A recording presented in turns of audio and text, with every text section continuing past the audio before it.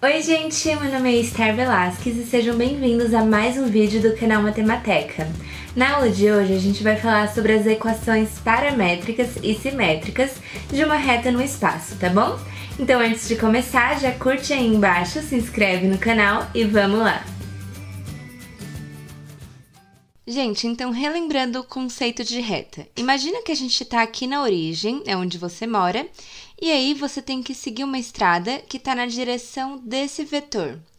Em quantos diferentes destinos você consegue chegar seguindo nessa estrada, seja aqui para cima, seja aqui para baixo? Você tem infinitos destinos, né? Você pode chegar aqui, pode chegar aqui, pode chegar aqui embaixo. Então, seguindo na mesma estrada, partindo do ponto que é a sua casa, você tem infinitos pontos para chegar e a junção desses infinitos pontos forma uma reta. Então, quando a gente tem o ponto de uma reta e o vetor diretor daquela estrada, então o vetor que determina em qual direção está aquela estrada, você consegue montar a equação vetorial da sua reta. Qualquer ponto x, y, z que você pode chegar como destino vai poder ser escrito como ponto que você está partindo. Então, no exemplo que a gente usou a sua casa, né? Mais um escalar lambda multiplicando o vetor diretor. Então, essa é a equação vetorial de uma reta. Qualquer ponto de destino pode ser escrito nesse formato aqui, conforme você varia o valor desse lambda aqui. Agora vamos falar sobre um outro tipo de equação, que são as equações paramétricas. Vamos reformular isso aqui. A gente tem que o ponto x, y, z, que pertence à nossa reta, pode ser escrito como algum ponto dessa reta, então um ponto ABC, mais lambda vezes d, lambda vezes z e lambda vezes f, sendo que d e f é o vetor diretor dessa reta. Somando esses dois termos, a gente vai ter que um ponto x, y, z, que pertence a essa reta, pode ser escrito como a mais lambda vezes d, b mais lambda vezes z e c mais lambda vezes f. Então, conforme a gente varia o lambda aqui, a gente chega em novos pontos x, y, z. Vamos igualar aqui a primeira coordenada com a primeira, a segunda com a segunda e a terceira com a terceira, tá bom? Com isso, a gente vai ter que x é igual a mais lambda vezes d, o y é igual a b mais lambda vezes z, e o z é c mais lambda vezes f. E essas são as equações paramétricas da nossa reta. Por que paramétricas? Porque o x, o y e o z estão em função do parâmetro lambda. Então, conforme o lambda varia, a gente vai ter o valor respectivo de x, de y e de z. Então, ó, aqui, independente, a gente tem um ponto da nossa reta. E aqui, multiplicando lambda, a gente tem o vetor diretor dela. Então, quando a gente tem uma reta que passa pelo ponto ABC e tem o vetor diretor D e F, a forma paramétrica dessa reta vai ser essa aqui. Aqui é o ponto e aqui é o vetor diretor. E aí a gente tem o x, y e z para cada variação do parâmetro lambda, fechou? Então, aqui, por exemplo, a gente tem uma reta que passa pelos pontos menos 4, menos 2, 1 e o ponto B, 2, 5, 0. E aí ele pede para a gente encontrar as equações paramétricas de R. Tá, mas ele só deu dois pontos, ele não deu o vetor diretor. Mas, gente, se aqui a gente tem o, o ponto A, aqui a gente tem o ponto B, e a gente sabe que a reta passa por esses dois pontos, então o vetor AB é um vetor diretor dessa reta. Ele representa a direção que essa reta segue, a direção daquela estrada. Portanto, o nosso vetor diretor aqui nesse caso pode ser o próprio vetor AB, que é calculado como B menos A. Então, a gente pode fazer o ponto B, que é 2, 5, 0, menos o ponto A, que é menos 4, menos 2, 1. Subtraindo esses vetores, coordenada por coordenada, a gente tem 2 menos menos 4, fica 2 mais 4, que é 6. 5 menos menos 2, fica 5 mais 2, que é 7. E 0 menos 1, que é menos 1. Então, agora a gente consegue escrever as equações paramétricas da reta R. A gente tem o vetor diretor dela e a gente tem um ponto que ela passa. A gente pode escolher o A ou o B ou qualquer outro ponto que você descobrir que pertence a essa reta. Vamos usar aqui o ponto A. Nas equações paramétricas, o x vai ser a primeira coordenada do ponto, que é menos 4, mais lambda vezes a primeira coordenada do vetor diretor. O y vai ser a segunda coordenada do ponto, mais lambda vezes a segunda coordenada do vetor diretor. E o z vai ser a terceira coordenada do ponto, mais lambda vezes a terceira coordenada do vetor diretor.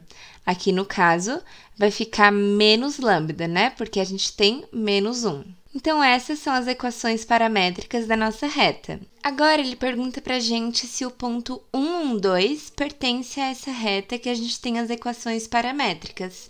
Ou seja, a gente quer saber se existe algum lambda tal que o x seja 1, o y seja 1 e o z seja 2. Então, vamos fazer essa substituição aqui. A gente quer que 1 seja igual a menos 4 mais 6 lambda, que 1 seja igual a menos 2 mais 7 lambda, e que 2 seja igual a 1 menos lambda. Gente, para o ponto 1, 2 pertencer a essa reta, tem que existir um único lambda que satisfaz as três equações. E se a gente for ver aqui, na terceira equação, a gente encontra que lambda é igual a menos 1. Na segunda equação, a gente encontra 7 lambda igual 1 mais 2, que é 3, e, portanto, lambda igual 3 sobre 7. A gente já encontrou um lambda diferente do que a gente encontra na terceira equação.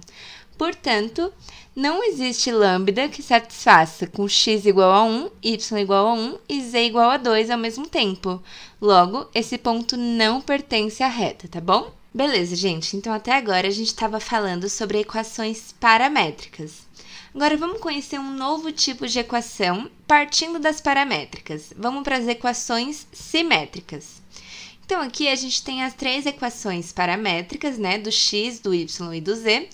E aí vamos fazer o seguinte: vamos isolar o lambda em cada uma delas.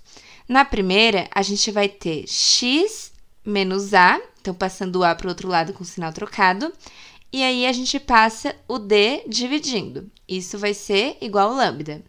Na segunda, a gente vai ter y menos b sobre o e. Isso vai ser igual ao lambda.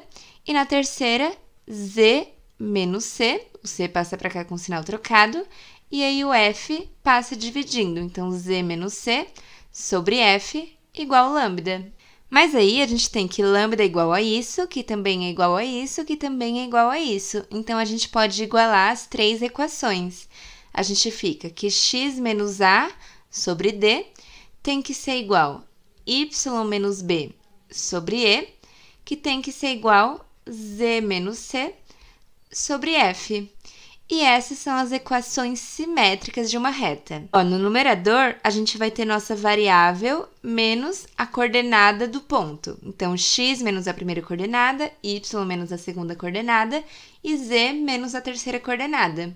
E no denominador, a gente tem as coordenadas do vetor diretor. E a gente só vai usar essa forma quando D, E e F forem diferentes de zero, senão a gente fica com uma divisão por zero, né?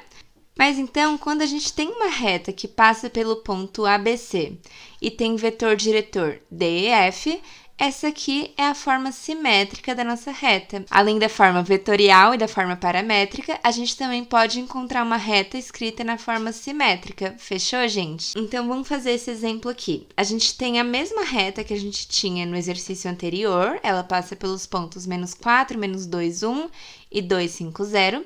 Só que agora a gente quer as equações simétricas dessa reta.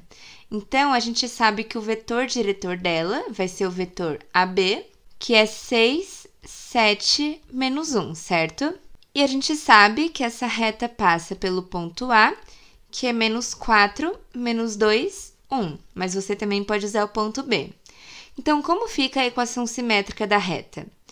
Vai ser x menos a primeira coordenada do ponto, que é menos 4, dividido pela primeira coordenada do vetor diretor, y menos a primeira coordenada do ponto sobre a primeira coordenada do vetor diretor, igual z menos a primeira coordenada do ponto sobre a primeira coordenada do vetor diretor. Então, essa reta vai ficar x mais 4 sobre 6 igual y mais 2 sobre 7. E aqui a gente pode multiplicar por menos 1 em cima e embaixo. Aí fica menos z mais 1 sobre 1. Então, aqui só para você entender que às vezes a equação pode aparecer nesse formato, ao invés de z menos 1, aparecer como menos z mais 1. Mas aí é só você multiplicar em cima e embaixo por menos 1 para ficar no formato que a gente conhece, tá bom? E aí agora ele quer saber se o ponto 8, 12 menos 1 pertence a essa reta. Então, a gente vai substituir x por 8, y por 12 e z por menos 1. E aí a gente tem que ver se essas igualdades vão ser satisfeitas. Se o ponto 8, 12 menos 1 pertencer a essa reta representada por essa equação simétrica, a gente vai ter que a igualdade é verdadeira. Isso aqui vai ser igual a isso aqui, que vai ser igual a isso aqui, beleza? Então vamos lá. A gente tem 8 mais 4 sobre 6 igual 12 mais 2 sobre 7 igual menos menos 1 mais 1 sobre 1. 8 mais 4 é 12, dividido por 6 dá 2. 12 mais 2 é 14, dividido por 7 dá 2. E menos menos 1 vai ser 1, mais 1 é 2, dividido por 1 continua 2. Então, olha só, quando a gente substituiu o ponto 8, 12 menos 1, as igualdades foram satisfeitas. Todas elas resultaram em um valor igual a 2. Portanto, o ponto 8, 12 menos 1 pertence à reta. Bom, gente, então foi isso no vídeo de hoje. Eu espero que vocês tenham gostado. Não esquece de curtir, se inscreve no canal, compartilha com seus amigos e já me segue lá no Instagram para ficar por dentro de tudo, tá bom? Então a gente se vê no próximo vídeo, gente. Beijo!